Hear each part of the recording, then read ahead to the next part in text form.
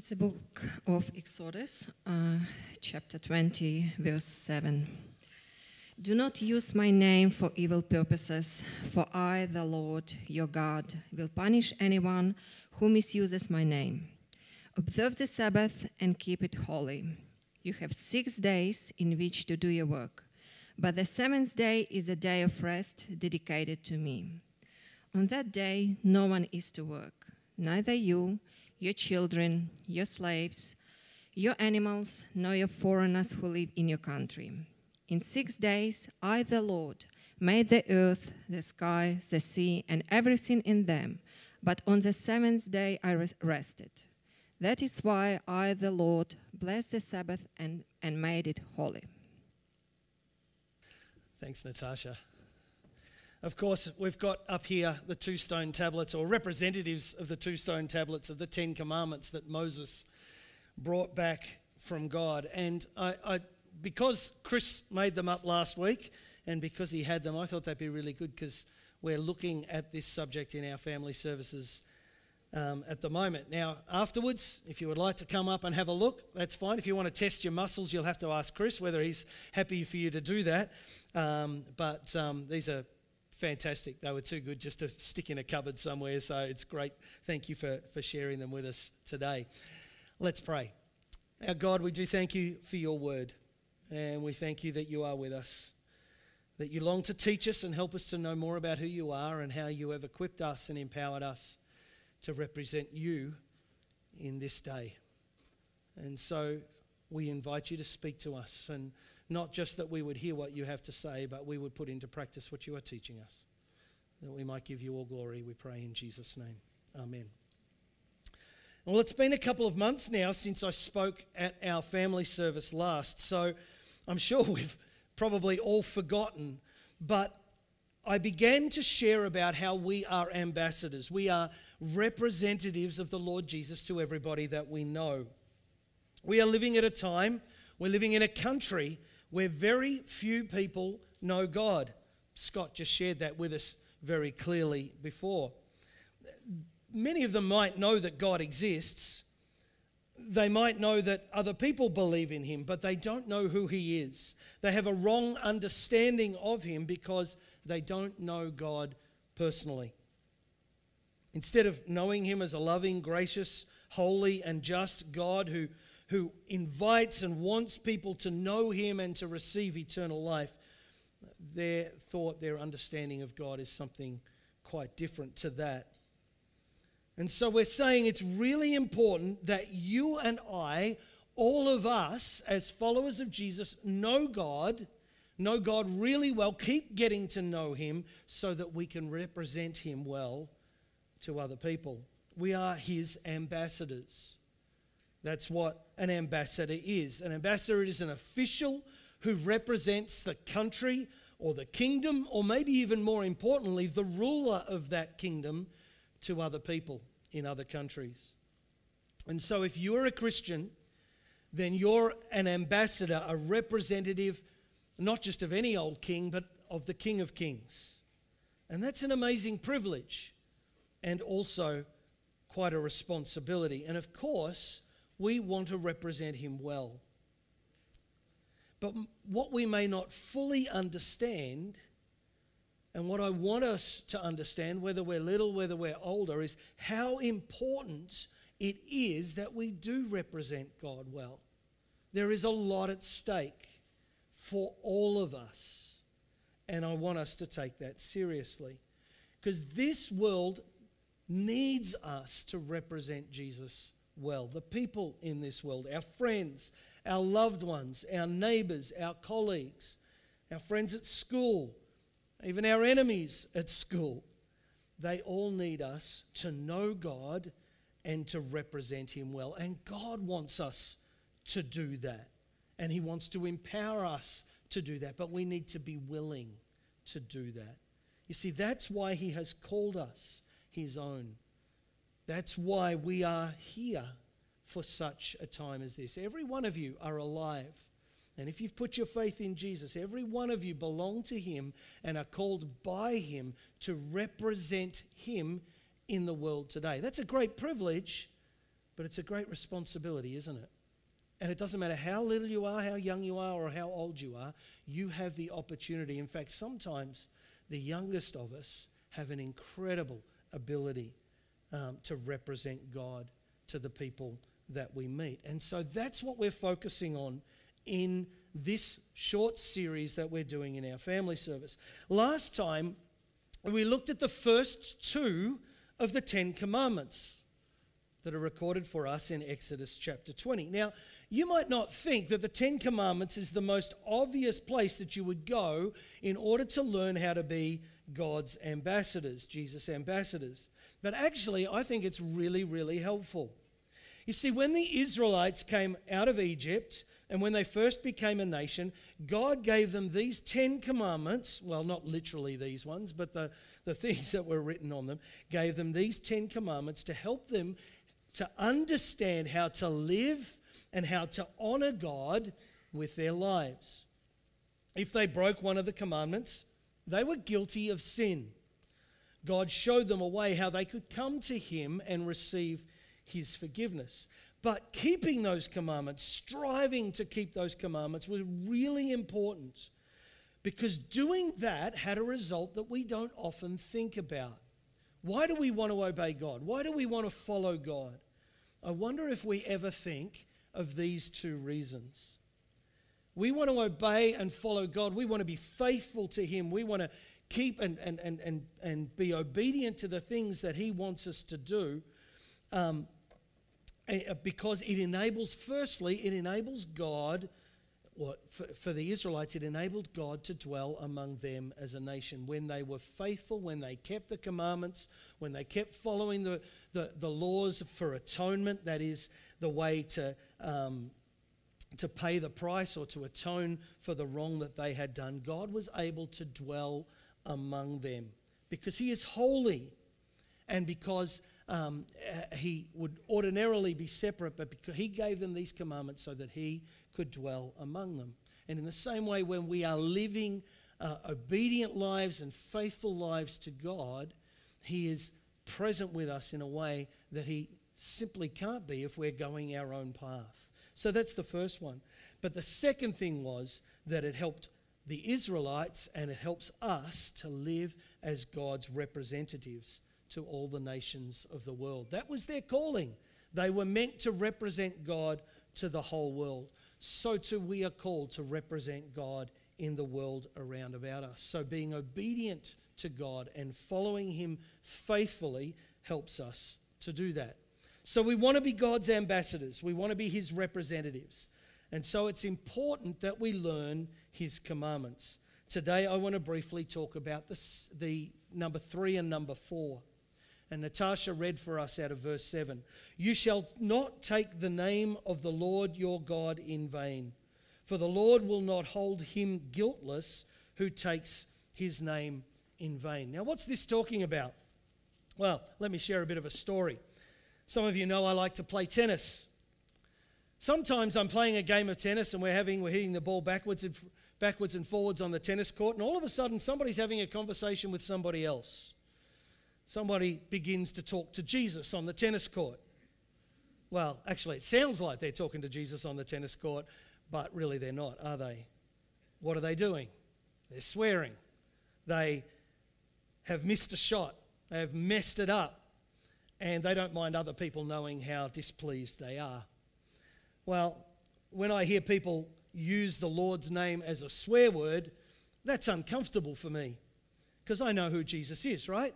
And I expect it to be uncomfortable for you too. We know who he is, we know what he's done, uh, how, how, how wonderful he is, and how loving he is towards us, and particularly what he did in order that we might know God and have a relationship with him. So it's not nice to hear when somebody uses this wonderful name, the wonderful name of Jesus, as a swear word. It shows they have no respect for Jesus, that they don't honor him. Well, that's bad enough, I guess. But what if a Christian did that? What if we did that? That's a whole lot worse, isn't it? Because we are representing him. If I did that on the tennis court, and those guys, most of them know that I love Jesus and I follow him, certainly all my teammates do, And now most of the opposition do because I've been playing them for a, a couple of years. I say that I follow Jesus and yet I show no respect for him. That's terrible. Jesus' name is his, his name is above all names. He's the King of Kings, the Lord of Lords. He's our creator. He is our savior. How could we show such disrespect as to use his name as a swear word? So that's one way that we might be taking his name in vain. But I think it also speaks of more than simply this, because it also goes to the way that we live our life. It's not just whether I use the name of Jesus as a swear word on the tennis court that will stand out to those guys in my, my team or even the opposition that I've got to know. It's my very character that will stand out as well. I'm a follower of Jesus. And we've already said, as his ambassadors, we are representing him to the world. So we should all want to represent him in such a way that people see that we are different, that Jesus is at work in our life. We know we want to res- represent him to others. Jesus told us to do that. He said to us in Matthew 10 Everyone who acknowledges me publicly here on earth, I will acknowledge before my Father in heaven. So I don't mind telling people, I know that Jesus wants me to tell them at different times that I belong to him. It doesn't necessarily mean we all need to print up t shirts, although there are some great ones out there, aren't there? But when the Spirit leads us, when the opportunity arises, we want to declare to people that Jesus is our Lord and Savior. And hopefully to be able to tell people why. That's the first part.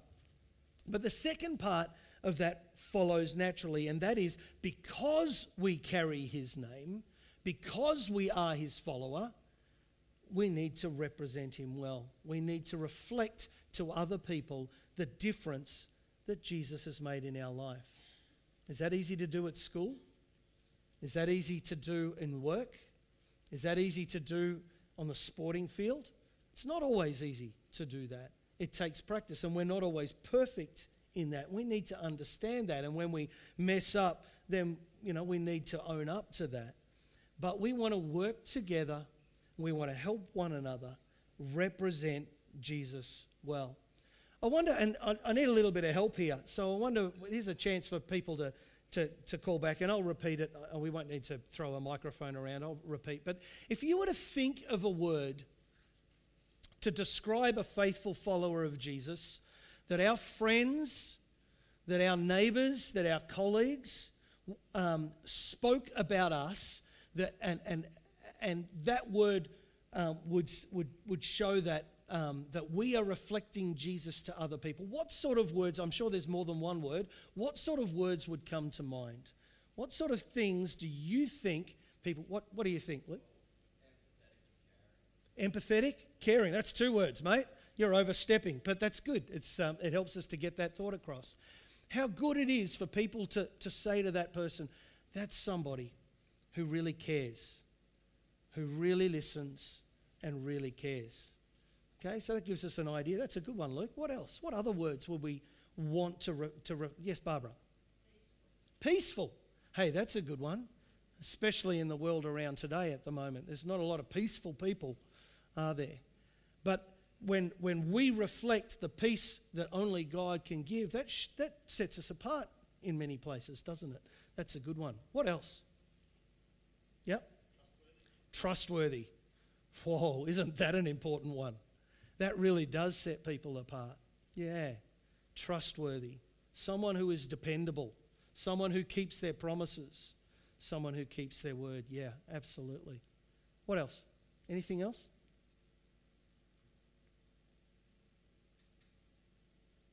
I'm sure we can think of some others as we go along. Maybe we can talk about it a little bit later on.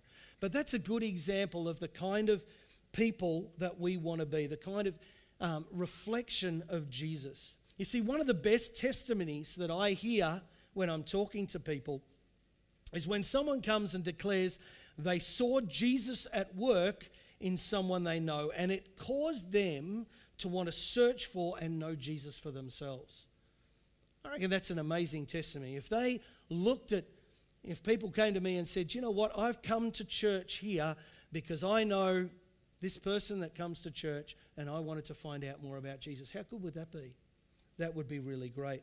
There's the other side of that, though, isn't there? The bad side is that one of the worst things that we hear is when people declare they're not interested in Jesus because somebody who say they are a Christian represents Jesus badly. Now, sometimes that's just used as an excuse. I get that. But still, we don't want that to be said of us. So, honoring God, having reverence for Him and His name, reflecting Jesus through our character, through our works, that's an important part of being an ambassador, representing Jesus to other people. We can do it when we go to school tomorrow. We can do it if we go to work tomorrow. We can do it when we're a part of our sporting club this week. We can do it wherever we go, just through our actions and our activities. And that's a part of keeping the commandments, the things that God wants us to do. Let's talk about one more as we finish up. What's the fourth commandment? It's a slightly longer passage, but I think it's a little bit even more straightforward in some regards. It says this in verse 8 Remember to observe the Sabbath day by keeping it holy. You have six days each week for your ordinary work, but the seventh day, the Sabbath day, is a day of rest dedicated to the Lord your God. On that day, no one in your household may do any work. This includes you, your sons, and your daughters, your male and female servants, your livestock, and any foreigners living among you. For, six, for in six days, this is a challenging verse, this one. For in six days the Lord made the heavens, the earth, the sea, and everything in them. But on the seventh day he rested. That's why the Lord blessed the Sabbath day and set it apart as holy. Remember the Sabbath day was one of the commandments that God gave to the Israelites. Now, on our calendar, the Sabbath is a Saturday. It's not a Sunday. We tend to set aside Sunday to come aside for worship. Why is it that Christians, mostly, not all, choose to come to church on a Sunday and keep that, often speak about it, even use the word Sabbath? Well, Christians have been wrestling with that question ever since the church was born 2,000 years ago. So let me clear up something very quickly. The Apostle Paul knew this problem that was going on, and he was writing to a group of people who were struggling with a question a little bit like this. And he said, Some people think that one day is more holy than another day, while others think every day is alike. You should each be fully convinced that whichever day you choose is acceptable. Those who choose to, choose to worship the Lord on a special day, do it to honor him. So, what's Paul saying here? It seems that Paul is suggesting to say that it is right to meet, to worship on any day, because no day is more special than any other. However, if you are convinced in your own mind that a particular day is special, if you think you need to do it on a Sunday, if you think you need to do it on a Sunday, if you think you need to do it on a Wednesday, then you should do that. Okay? Whatever day you should choose, you should set aside, you should honor it by keeping, because God has made that day special. Now, there have been all sorts of questions about why it is that Christians generally have met throughout the last 2,000 years on Sundays. I'm not going to go through all of those, but I think the best reason that I've heard is that Sunday is the day that Jesus rose from the dead. It's a good reason as any to worship and to celebrate. It's also the first day of the week, and I like that idea as well. It's like we're giving him the start of the week, the first in our week, if you like. But let us not get so focused on which day we choose that we lose the point of what God wants us to understand. It doesn't matter whether it's Sunday or Saturday or Wednesday. There was to be a day of a week where each person set aside to worship and to rest because it was committed, it was dedicated to the Lord. It's a deliberate act of setting aside a day for worship and for rest. It's a little bit simpler, similar to something else we teach. We teach that every Christian, when they first get their income, should set aside an amount from that income to give to the Lord as an offering. It should be the first thing we do, not the last thing. He doesn't get what's left over. He gets the very first thing we do. The same thing applies to our service and to our worship. And it's easy for us to see how having this principle, this commandment in mind, helps us to be ambassadors of Jesus. Firstly, because God gives us that day of rest because He knows we need it in order for us to be at our best. If we keep working, if we're flat out week after week after week, we soon burn, soon burn out. We need regular rest in our life. That's a simple, practical reason that we need to do it. But secondly, like I said before, is that God gets the first. He gets the very best of our time. He doesn't get what's left over. So, regular time each week, not every second week, not once a month, not once every around about six weeks, as is often the practice for many people, not in this church, but in many places. If we do that, if we set aside that time, if we make that commitment to God, doesn't mean that, you know, if we're sick or whatever, we've got to drag ourselves in here. No, that's not what God means. But if we give Him the first, then He will give us the fuel and the nourishment that we need. And then together as a body, as a church, we can provide the support and the encouragement that the whole body, that the whole church needs. There are so many reasons why gathering regularly as the people of God is important, and how God has given us this wonderful gift so that we can be at our best and to represent Him well. But the most important reason is what we are about to do now. You see, the primary reason that we gather as the people of God in a place like this once a week is to come near to God. Our worship brings us close to Him through praise and through adoration. Through the declaration, our songs declare the truth of who God is, of what He has done, and of all He has promised. And it declares our response to that. We sing words of our response to Him in that. When we come and we open the Bible and read His Word, it also brings us closer to God through instruction, through knowledge, through equipping us to be able to serve Him well.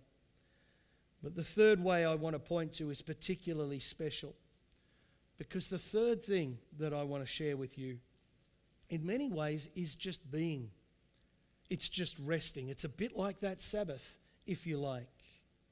It's when we come to share around the Lord's table, around the communion table. There are so many good things about communion, many reasons to do this regularly. But the heart of it is just to gather, to be here in obedience. And what do we often say obedience is? Obedience is loving God. Obedience is loving God. That's how we express our love for God by keeping His commandments. And His commandments are not burdensome, as we read in the first letter of John. So that's how we express our love for God through obedience. One of the things he told us to do is regularly take the bread and the cup in memory of Jesus until he returns. And so we do that. And whenever we do that, we glorify him. We're here in his presence. We fix our thoughts upon him. We remember him and we love him with all that we are and all that we can. And so if you love the Lord Jesus, if you've put your faith in Him as your Lord and Savior, if you've confessed He is your Lord, then you are welcome. In fact, you are even commanded to come to this table or one of the many tables around the world whenever we do eat the bread and drink the cup in memory of the Lord Jesus Christ. We're here for a very special reason. When we take the bread and the cup, we do some very important things things that are at the center of our belief and as, eh, of our life in Christ. We remember Jesus' death. We remember he wasn't killed, he wasn't overcome. He surrendered his life, he gave his life. His death demonstrates how much he loves us, how much he loves you.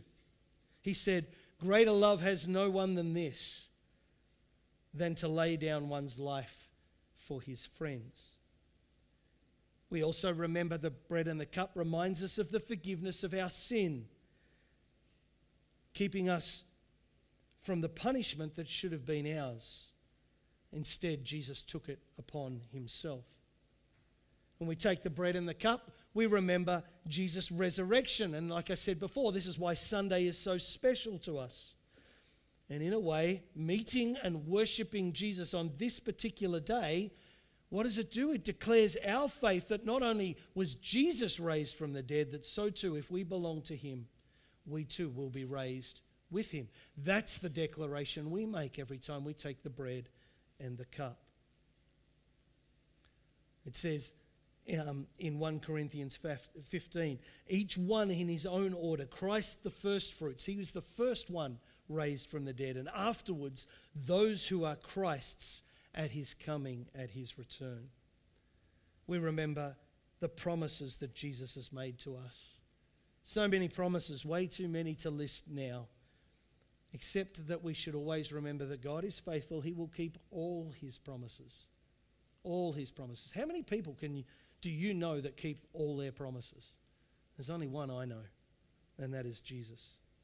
But maybe the most special promise that we have to look forward to is that, and that is the return of Jesus. There's nothing greater that we hold to than the knowledge that Jesus is coming back for us. He's coming back for all those who have turned and put their faith and their trust in Him. And so, whether we are alive at the time or whether we have fallen asleep beforehand, when that trumpet sounds and the voice of the archangel is heard, we will be gathered with Him. So many promises, so many things to look forward to, so many things that this special meal represents. And so, now in this precious time, if you love the Lord Jesus Christ, I invite you to take the bread take the cup in remembrance of the Lord Jesus Christ. Let's pray. Our Lord God, we thank you. Often we think of these commandments that we have been reflecting on as laws to keep us in line. And maybe that's what the enemy wants us to think. But help us to remember that each and every one of them are such a wonderful opportunity. That in seeking to obey you, first and foremost, we declare our love for you. In every step of obedience, it is an act of love. You have loved us so much, more than we deserve and more than we can possibly imagine, certainly in this life. And yet you have wonderfully given us an opportunity to very deliberately and very clearly express our love for you. And so help us and empower us to do that. Thank you too that these are commandments, these, these commandments and this obedience helps us to understand how you love to dwell with us and to be close to us. And that as we draw near to you, as we express our love and obedience, towards you, so too your promise is that you come near to us as well. Thank you too that these commandments, these simple acts, whether it's just through setting aside that time each week and, and saying and, and putting that commitment that those that we know and love go, do you know what? That Sunday, that is, that is special. That's the day that person goes to church. That is a witness to people that we put you first. And so help us to bear witness to others in all that we do. Lord God, we love you. We thank you for all that you've done for us. Thank you for the, the bread and the cup that reminds us every time we come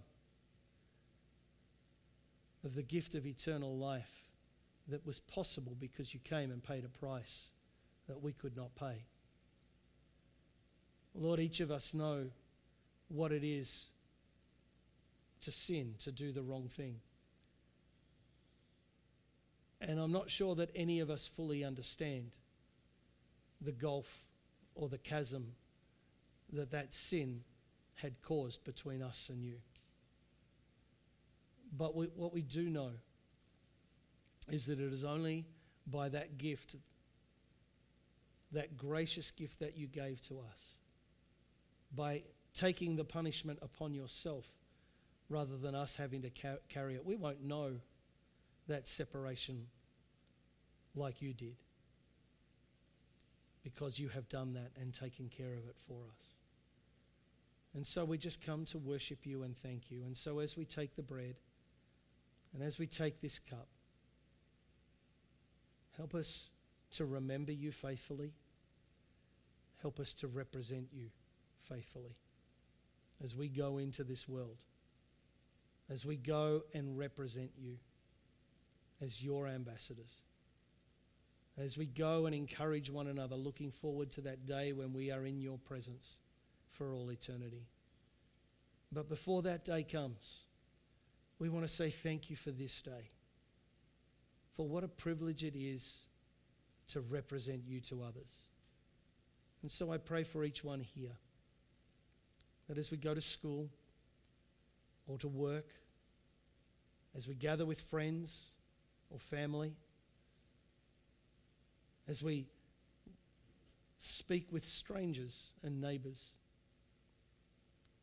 help us to know that every single one of those encounters is an opportunity to represent you to people, whether it's through our character, whether it's the words that you give us to share. Help us to do that faithfully. For we pray in Jesus' name. Amen.